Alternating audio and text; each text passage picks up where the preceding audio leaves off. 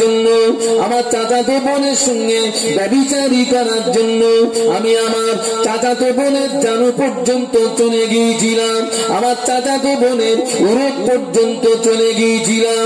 ওই সময় আমার চাচাতো বোন আমার দিকে চেয়ে বলেছিল, আল্লাহকে ভয় কর, আল্লাহকে ভয় কর, আল্লাহকে ভয় কর, আল্লাহ, আমি আমার বোনের জানু পর্যন্ত উঠে গিয়েছি, আমার বোনের জানু পর্যন্ত উঠে গিয়েছিলাম ওই সময় আমার বোন আমাকে লক্ষ্য করে কথা বিজেই না বলল, আল্লাহকে ভয় কর, আল্লাহ আল্লাহ।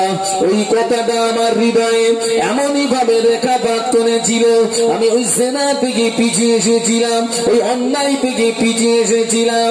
ও আব্বুল তোমাকে রাজি করানোর জন্য করে থাকি। এই আমলটা যদি তোমাকে খুশি করানোর জন্য করে থাকি, আজ বিপদে পড়েছি মুসিবাদে পড়েছি। আল্লাহ, ওই আমলের ওসিলা দিয়ে দোয়া চাই। গুহার মুখ থেকে পাথরটা সরিয়ে দাও, গুহার মুখ থেকে পাথর সরিয়ে দাও, আল্লাহর বান্দার করা শেষ। গুহার মুখ থেকে পাথর সরে গিয়েছে বলুন সোহান আল্লাহ এই খোকা তোরা সাক্ষী দে, ওই জায়গাতে পিছিয়ে আসা সহজ না কঠিন? এই কোন জায়গা বুঝতে পারতেছিস নি? ওর চাচাতো বোনের সঙ্গে জেনা করার জন্য জানু পর্যন্ত উঠে গেছে ও। ওর বোনরে কি বলেছে? আল্লাহকে ভয় কর। মারাত্মক কথা। এই শুনে রাখো, সারা পৃথিবীর পুলিশ প্রশাসন দিয়ে কোনো মানুষের চরিত্রকে সংশোধন করতে পারবেন না। তবে ওর ভিতরে যদি আল্লাহর ভয় ঢুকে যায়, দেখা দিনান দেয়ার সোজা হয়ে যাবে। বোনটা বলছে তুই করছিস কি? আল্লাহকে ভয় কর। ককাতরা বুকে হাত দে বল তিনি এখন বর্তমান যুগের অধিকাংশ জলসায় জেনা হয় না হয় না? এই, শুধু ফায়ার করার নাম বলো, জেনা না। হাতের জেনা আছে, চোখের জেনা আছে, পাত জেনা আছে। নেই জেনা নেই হাতের জেনা, চোখের জেনা, কানের জেনা। আহারে। আজকে আমার আমার সমাজে জেনা বেড়েছে না কমেছে? প্রচুর প্রচুর। প্রচুর। ভাই নবীর যুগটা আল্লাপাক বিশ্ব নবীকে যে যুগে পাঠিয়েছিলেন, ইউরোপের ঐতিহাসিকরা ওই যুগটাকে শিক্ষিত যুগ হিসাবে আখ্যায়িত করেছিলেন না মূর্খের যুগ হিসাবে আখ্যায়িত করেছিলেন? মূর্খের। কেন? সেই যুগে যে সমস্ত অন্যায়, অপরাধ কাজ হতো, তাই ইউরোপের ঐতিহাসিকরা মূর্খের যুগ বললেন। আচ্ছা আল্লাহ রসুলের যুগে যে অন্যায়, অপরাধ হওয়ার কারণে ইউরোপের ঐতিহাসিকরা মূর্খের যুগ হিসাবে আখ্যায়িত করলেন, সেই অন্যায় অপরাধ বর্তমান যুগে আছে না নেই। বড় বেশি। তাহলে ওটা যদি শিক্ষিত হয়, এটা, ওটা যদি ওটা যদি মূর্খের যুগ হয়, এটা কি করে? তোরা তো কম্পিউটার টিপতেছিস এ তো কম্পিউটারের যুগ, শিক্ষিত যুগ। আহারে। আজকের জেনা হওয়া, জেনা বেশি হওয়ার একটাই কারণ। কারণ। আপনাদের আব্বা মার দোয়া আল্লাহ আমাকে দুবার হসপাকে নিয়ে গেছে। দুবার। দুবার নিয়ে গেছে মক্কা শরীফে, খানায় কাবাতে, মেয়ে ছেলে, বেটা ছেলে একসঙ্গে তোয়াফ হয়। একসঙ্গে তফ হওয়া মানে পুরুষের টাস মহিলার সঙ্গেও হয়, আবার মহিলার টাস পুরুষের সঙ্গে হওয়াটাই স্বাভাবিক তো।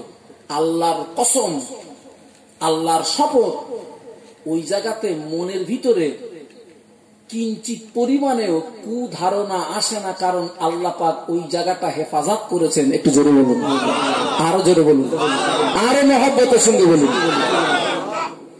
জানেন, আমি মক্কাতে যতদিন ছিলাম, আমি যতটা দেখেছি, সৌদি নারী বলুন, স্থানীয় নারী বলুন, আর আমাদের যারা হজ করতে গিয়েছেন, তাদের কথা বলি। পুরো পা থেকে মাথা পর্যন্ত, পুরোটাই ঢাকা। দুটো চোখটাও চশমা লাগানো। তার মানে মেয়েদের যে অঙ্গগুলো দেখলে পুরুষদের আকর্ষণ বাড়ে, তাদের শুধু ওই অঙ্গ না, টোটাল অঙ্গটাই কি? ঢাকা। সেখানে জেনা থেকে আল্লাহ মুক্ত করেছেন বলুন সোহান আল্লাহ আজকের আমার সমাজে জেনা হওয়ার কারণ একটাই, মেয়েরা এমন এমন ড্রেস পরছে, যে ড্রেসগুলো পরলে, যে ড্রেস পরে বাইরে বার হলে, ওই ড্রেসের দিকে তাকালে পুরুষদের আকর্ষণ কি হয়? আকর্ষণ বাড়ে। আমার আমার কথাটাকে অন্যভাবে নেবেন না। এখন মেয়েদের জামা মানে কোম্পানি থেকে এমন এমন জামা বার করছে, ঠিক জায়গায় ফাঁকা রেখেছে। আমি বাস্তব বলছি না বাস্তব বলছি? ঠিক জায়গায় ফাঁকা। স্টাইল কত ধরনের স্টাইল আজকের যুবক ছেলেরা টাকা দিয়ে প্যান্ট কিনতেছে, তাও ছেঁড়া আমার। আর ঠিক বলছি ভুল বলছি। বলছি, হুজুর, এ এক ধরনের স্টাইল হয়তো এখান থেকে ক বছর পরে দেখা যাবে এদিকে ঠিক আছে পিছনে ফুল দরজা ফাঁকা। হুজুর, এটাও একটা স্টাইল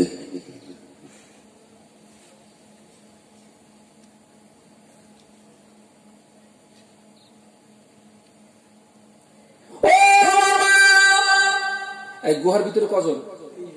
আরও জোরে।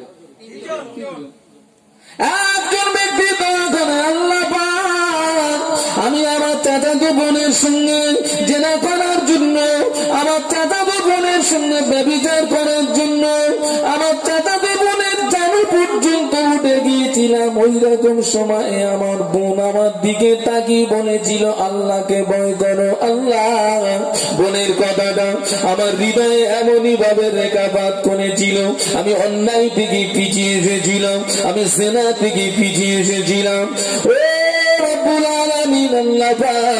ওই আমলটা যদি তোমাকে রাজি করানোর জন্য করে থাকি, ওই আমলটা যদি তোমাকে খুশি করানোর জন্য করে থাকি, আজ বিপদে পড়ে গিয়েছি, মুসিবতে পড়ে গিয়েছি, গুহার মুখ থেকে পাথরটা সরিয়ে দাও, মোনাজাত করা শেষ, গুহার মুখ থেকে কিছুটা পাথর সরে গিয়েছে বলুন সোহান আর একটু জোরে বলুন সোহান আল্লাহ আজকের এখানে যে সমস্ত যুবকরা আছো, রাস্তায় বার হলেই চোখ বন্ধ করে চলা যায় না। চোখটা চেয়েই চলতে হয়। যখনই কোনো নারীর দিকে দেখবে, মাথাটা নিচু করো। তোমার দৃষ্টি থাকবে নিম্নগামী, আর ওই মহিলা যদি ওর শরীরটাকে পর্দা করে, জেনামুক্ত সমাজ তৈরি হবে। সুবহানাল্লাহ। আমার দৃষ্টি হবে কি? বলো না, নিম্নগামী। একবার দেখেছ? সঙ্গে সঙ্গে মাথা নিচু করো। বলছে, হুজুর, যদি একবার দেখা যায় মিনিট পনেরো, পলক মারবো না? কিতনা বড় জালিয়াত। ও পনেরো মিনিট ধরে দেখবে।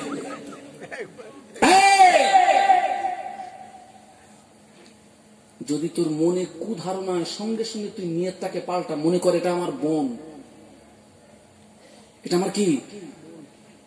বোনের নজরে দেখো। আর একটু বড় হলে মায়ের নজরে দেখো। এই গোনা হবে? তবে যেন খবরদার শালীর নজরে দেখো না। ওটা দেখলে কিন্তু তুমি মরবা। জনমের মরা মরবা। গর্তের ভিতর থেকে তোমার হাত ধরে টেনে তোলা যাবে না। আমি বলছি, যে সমস্ত মায়েরা আমার বক্তব্য শুনছেন, ভাসুরকে দেখে পর্দা করতে হবে না দেওয়ার থেকে সাবধান। মারাত্মক। বাস্তব বলছি না, বাস্তব বলতেছি? বাস্তব, ও পাশের কাছে বসে ঘুষুর ঘুষুর করতেছে মানে উদ্দেশ্য খারাপ। ভাসুর থেকে নয় দেওয়ার থেকে সাবধান।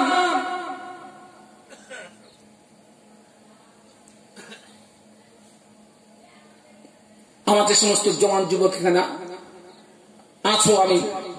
তোমাদের উদ্দেশ্য করে বলছি।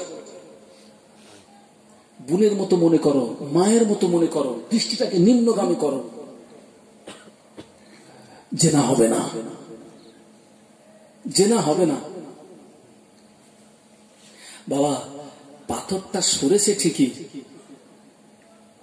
কিন্তু বার হওয়ার রাস্তা হয়নি। কিছুটা আমার মা বোন যারা এখানে আছেন তারা বোঝা আর নেই আছে? মায়েদের জন্য কি আলাদা কোনো প্যান্ডেল ট্যান্ডেল আছে? আছে। ওরা ওরা সেখানে আছে বলে মনে হয়? যারা আছে, আলহামদুলিল্লাহ। আমি মায়েদেরকে উদ্দেশ্য করে একটা কথা বলব, মায়েরা। ও আমার মায়েরা বোনেরা, ও মায়েরা বোনেরা, আপনাদেরকে একটা কথা বলব। আপনাদের একটা কথা বলব, পাঁচ অক্ট নামাজ যেমন ফরজ, রমজানের রোজা যেমন ফরজ, টাকা থাকলে ভাত যেমন ফরজ, টাকা থাকলে জাকাত দেওয়া যেমন ফরজ। মায়েরা, আপনাদের পর্দা করা তেমন ফরজ, আপনাদের পর্দা করা তেমন ফরজ। একজন মহিলা, অপর মহিলা তিনটি স্থানকে দেখতে পারবে। একজন মহিলা, অপর মহিলা একজন মহিলা অপর মহিলা মুখের এই অংশটা দেখতে পারে। একজন মহিলা অপর মহিলা হাতের এই অংশটা দেখতে পারে।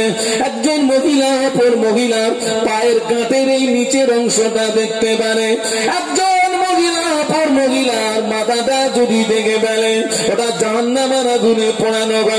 একজন মহিলা, অপর মহিলা, পিঠের কোন অংশ যদি দেখতে পায়, ওটা জাহান্নামার আগুনে পোড়ানো একজন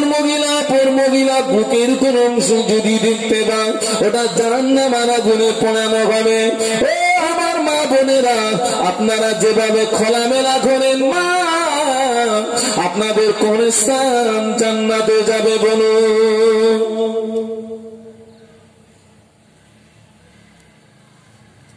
আপনার শরীরটাকে আপনি পর্দা করুন, আড়াল করুন, পর্দা করুন, আড়াল করুন। এবং আমার অনেক মায়েরা বরখা পরেন, আলহামদুলিল্লাহ, অনেকে পরেন না। যদি বরখা কেনার টাকা না থাকে, অন্তত একটা অর্ণা ব্যবহার করেন। তবে যারা বরখা পরেন, তাদের বলছি, স্কিন টাইট বরখা পরবেন না। ও আরও মারাত্মক। ওই স্কিন টাইট বরখা পরে রাস্তায় বার হলে আকর্ষণ পুরুষদের আরও বাড়ে। আপনি এমন বরখা পরুন, যে বরখাতে আপনার শরীরের উঁচু নিচু জায়গা বোঝা যেন না যায়। বাস্তব বলছি না বাস্তব বলছি। ঢিলা ঢালা পড়তে হবে। স্কিন টাইট বরখা পরা যাবে না। ওতে পুরুষের আকর্ষণ আরও বাড়ে। জেলা হবে। দায়িত্বগুলো আমাদের, আমরা যারা গার্জেন পক্ষ যারা।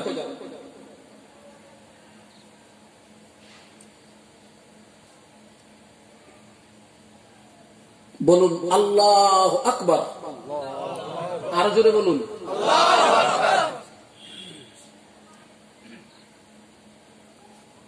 আল্লাহ, কঠিন মুসিবতে তারা, এখন তারা গুহার মধ্যে, কঠিন মুসিবত। দুইজন। প্রথম ব্যক্তির দোয়াতে কিছুটা পাথর সরেছে ঠিকই, কিন্তু পার হওয়ার রাস্তা হলো না। দ্বিতীয় ব্যক্তি তার জীবনের একটা নেক আমলের ওসিলা দিয়ে দোয়া চেয়েছে। আল্লাহর হস্তে পাথর আরও কিছুটা সরে গেছে, কিন্তু বার হওয়ার রাস্তা হলো না। বাকি আছে একজন।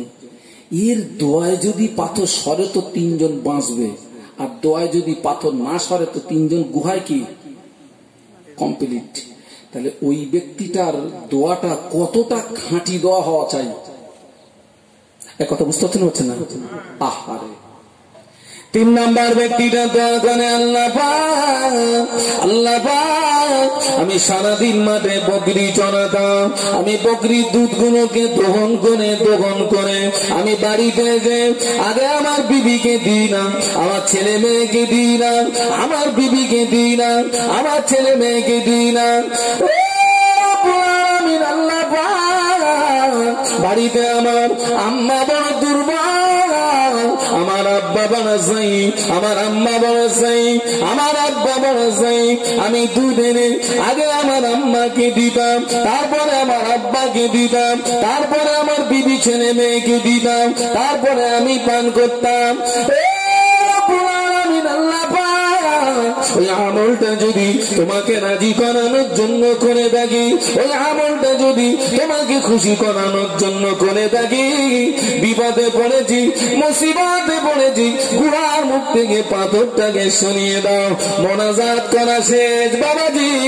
গুহার মুখ থেকে টোটাল পাথরটাই সরে গিয়েছে বলুন সোহান আর একটু জোরে বলুন সোহান বাবা, ওই ব্যক্তিটা মাঠে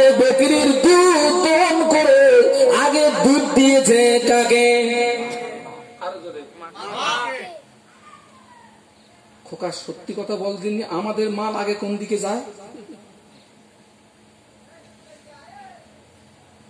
আল্লাহ না করুক যদি ওইরাম যদি পাথর চাপা আমরা পড়ি, হাত তুললে ও পাথর সরবে বলে মনে? হয়? হ্যাঁ আমাদের মাল আগে কোন দিকে যায়? আহা একজন সাহাবী আল্লাহ নবীকে বললেন, ইয়া রাসূলুল্লাহ হাবিব আল্লাহ হুজুর খেদমত করব কার? আল্লাহ নবী বললেন, তোমার মায়ের। তারপরে কার? নবী বললেন, তোমার মায়ের। তারপরে কার? নবী বললেন, তোমার মায়ের। তারপরে কার? আল্লাহ নবী বললেন, তোমার পিতার। আল্লাহ নবী, পিতা অপেক্ষা মায়ের তিন গুণ বাড়িয়ে দিয়েছে। একটু মহব্বতে বলা যাবে একজন সাহাবী বললেন হুজুর আপনি আমায় অনুমতি দিন। আমি জিহাদে যাব আমি শহীদ হব। হুজুর আমি জিহাদে যাব আমি শহীদ হব। আল্লাহ নবী বললেন তোমার আব্বা কি জীবিত? তোমার আম্মা কি জীবিত? না আমি আর রাসূলুল্লাহ আমার আব্বা জীবিত মা জীবিত। আল্লাহ নবী বললেন ও সাবি বাড়ি চলে যাও, তোমার আব্বা মার সেবা যত্ন করো, তোমার আব্বা মার খাই খেদমাত করো, আব্বা মার সেবা যত্ন করো, আব্বা মার খাই খেদমাত করো। আমি আল্লাহ নবী বলছি, আমার আল্লাহ পাক তোমার নামায় আমলে, জেহাদের নাকি দান করবে।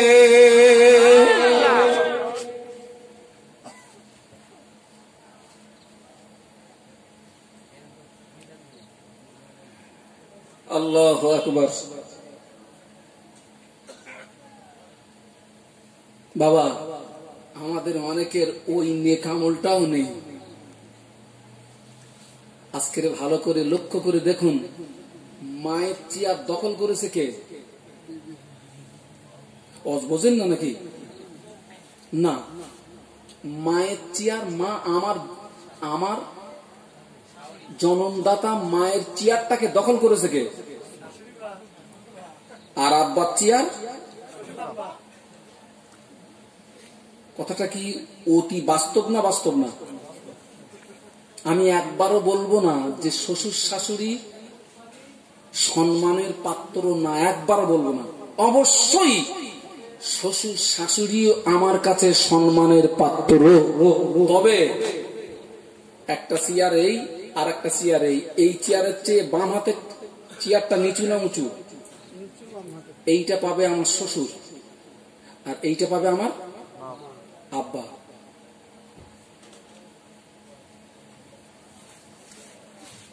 আজকের এই জায়গাটাকে আমরা শেষ করে ফেলেছি।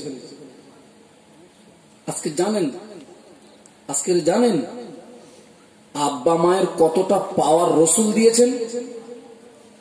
এই দেখুন, আল্লাহ নবী দেড় হাজার বছর আগে নূরের জবানে এই হাদিসটি বর্ণনা করেছিলেন।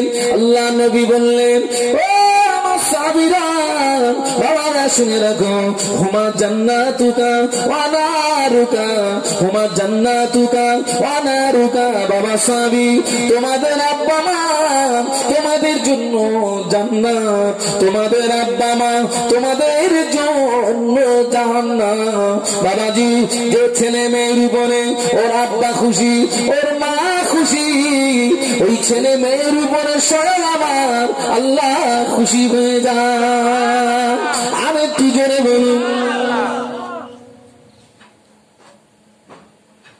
আপনি জীবনে প্রচুর নামাজ পড়েছেন, রোজা রেখেছেন, হজ করেছেন জাকাত দিয়েছেন, প্রচুর আপনি প্রচুর নেক আমল করেছেন। কিন্তু আপনার আব্বা মা আপনার প্রতি নাখোশ।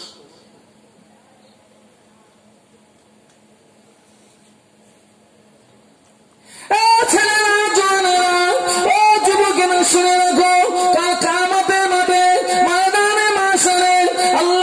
আল্লাহ পাক ইনসাফের পাল্লা খাড়া করবেন আল্লাহ পাক পাপ নেকিকে মিজানে পাল্লা ফেলে ওজন করবেন বাবাজি নেকির পাল্লার কাছে জান্নাতি ফেরেশতারা দাঁড়িয়ে থাকবে গোনার পাল্লার কাছে জাহান্নামী ফেরেশতারা দাঁড়িয়ে থাকবে নেকির পাল্লা যদি দাঁড়িয়ে হয়ে যায় জান্নাতি ফেরেশতারা সম্মানের সঙ্গে আপনাকে জান্নাতি নিয়ে যাবে গোনার পাল্লা যদি দাঁড়িয়ে হয়ে যায় জাহান্নামী ফেরেশতারা আপনাকে অপমানের সঙ্গে জাহান্নামায় নিক্ষেপ করবে। বাবাজি, কায়ামাতে মাঠে এক বান্দার আল্লাহ হিসাব নিচ্ছেন। দেখতে পাওয়া গেল ওর নেকিও যতটা গোনাও ততটা।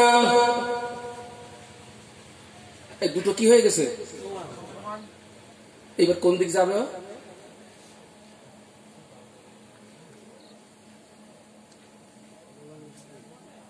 দু- যদি দুই দিকে সমান হয়, তাহলে এদিকের ফেরেশতাদের অধিকার থাকবে এর টানা আর এদিকে অধিকার থাকবে কি?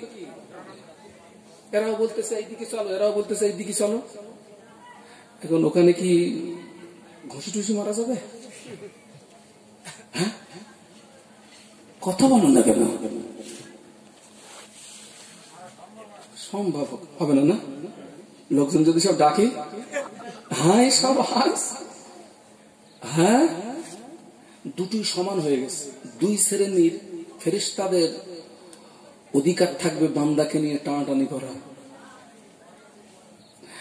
জান্নাতি ফেরেস্তারা বলতেছে, এইদিকে, ওরা বলতেছে ওইদিকে। বান্দা কি করবে? বান্দা চুপ করে দাঁড়িয়ে। আল্লাহ দাঁড়াও, আয়, দাঁড়িয়ে যাও। ছোট্ট একটা চিরকুট চিরকুট চিনেন তো? তাও কথা বলেন না। আরে চিরকুট ওই যে আপনার ছেলে মেয়েরা পরীক্ষার হলে সব টুকে নিয়ে যায় না? ওর কি বলে? ওই ছোট্ট একটা টুকলি ওইরকম ছোট্ট একটা কাগজ, ওতে কি একটা লেখা? আল্লাহ ফেরিস্তাদেরকে বললেন, এইটা নিয়ে ওর গোনার পাল্লায় চাপিয়ে দে ওই ছোট্ট একটা টুকলি। আর যেই গোনার পাল্লায় চাপিয়ে দিয়েছে পুরো আপ ডাউন গোনার পাল্লাটা ভারী হয়ে গেছে আর নেকির পাল্লা হালকা হয়ে গেছে। ফেরেস্তার অবাক। ছোট্ট কাগজে কি না জানি কি লেখা হতে পুরো আড্ডাও। কথা বুঝতে পারছেন না। কি লেখা?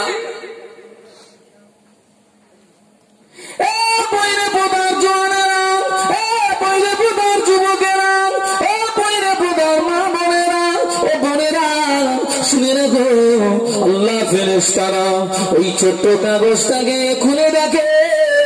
ওই ছোট্ট কাগজে অন্য কিছু লেখা নেই।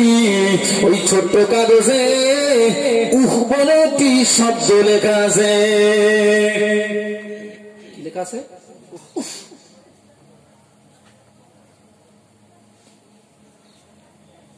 একটা শব্দ। উফ ছেলে,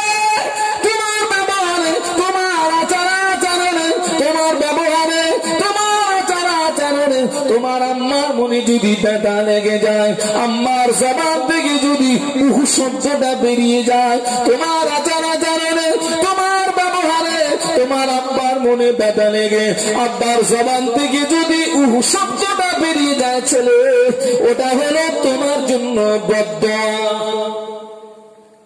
আব্বার কিন্তু বলা লাগে না যে তোর মাথায় দুপুরি বাস ওর মনে শুধু ব্যথা লেগে এই জায়গা থেকে কি বেরোবে উফ। আমাদের সমাজে অনেক ছেলে আছে, বউর কথা শুনে মারে খেতি দেয় না। আছে না নেই? আরও জোরে বলো। আমি জানিনি বইলে পোতায় আছে কিনা ছেলেরা ছেলেরা, বউ মরে গেলে হাজারো বউ পাবি, মা মরে গেলে মা পাবি নাকি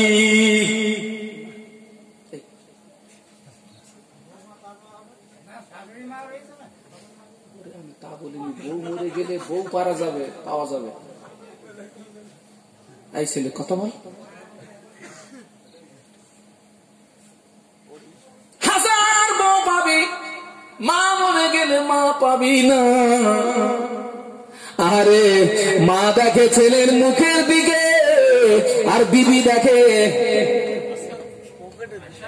এ যদি ভারী থাকে, যত্ন ভারী। এ যদি ভারী না হয় ওর মুখে হাসি পাওয়া যাবে না। আপনি যদি কলকাতা থেকে বাড়ি ফেরেন, আপনার মা আপনার মুখের দিকে তাকিয়ে আগে বলবে, বাবা, সারাদিন খেয়েছিস নাকি? সারাদিন খেয়েছিস, বাবা। মা, কি সংবাদ দেবে রে বেটা? যাদের আব্বা, মা নেই, ওদের নাম ধরে আর কেউ ডাকে না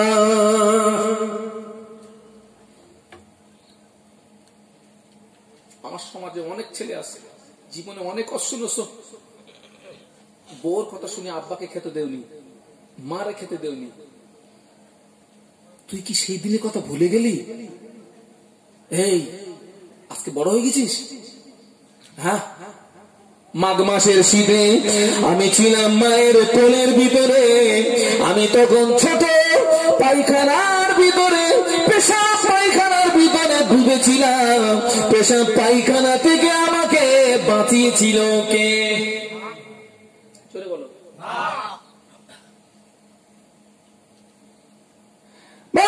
পৌষ মাসের মাসের আমি বাচ্চা আমি মায়ের কোলে শুয়েছিলাম, মায়ের পাশে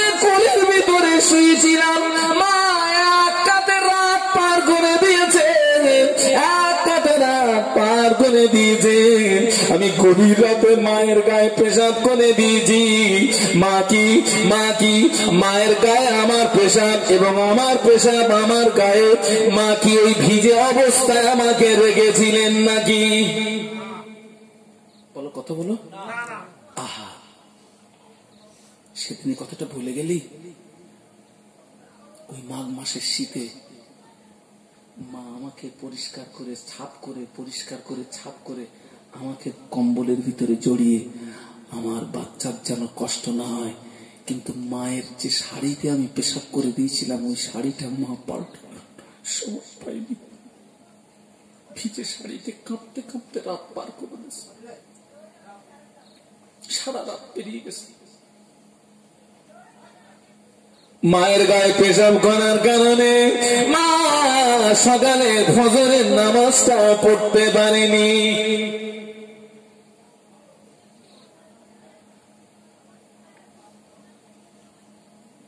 তো তিন নাম্বার, দোয়া চেয়েছে কে? আগে? আগে দুধ দিয়েছে কাকে? জোরে বলো। মাকে? পাথর আউট সমান বলো। আরও জোরে। পাথর ফুল আউট আরও জোরে, সুবহানাল্লাহ। বউর কথা শুনে মারে খেতে দিলি না। বউর কথা শুনে বাপনে খেতে দিলি না। বাবা, যারা মাকে খেতে দেয় না, বউর কথা শুনে, যারা বাপকে খেতে দেয় না, বউর কথা শুনে, আমার যেন মনে হয় নামাজের পাটিতে ওদের জন্য দোয়া চাই আল্লাহ। যারা বউর কথা শুনে মাকে খেতে দেয় না, যারা বউর কথা শুনে মাকে খেতে তুমি ওই মদ্দা লোকগুলোর পেটে বাচ্চা দাও। যারা বউর কথা শুনে মারে খেতে দেয় না, আমার মনে হয় নামাজের পাঠিতে বসে দোয়া করি, আল্লাহ, ওই মদ্দা লোকগুলোর পেটে বাচ্চা দাও।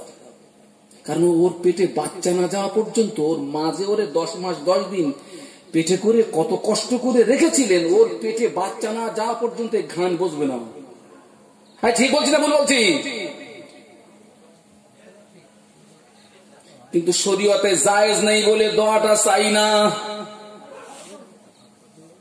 আর নইলে দোয়া চাইতাম আল্লাহ, যারা শুনে মাকে কষ্ট দেয়, মাকে খেতে দেয় না, মাকে মারে। ওই পুরুষগুলোর পেটে বাচ্চা দাও। শরীয়তে এই দোয়াটা চা জায়েজ না বলে ওই জন্য চাই না।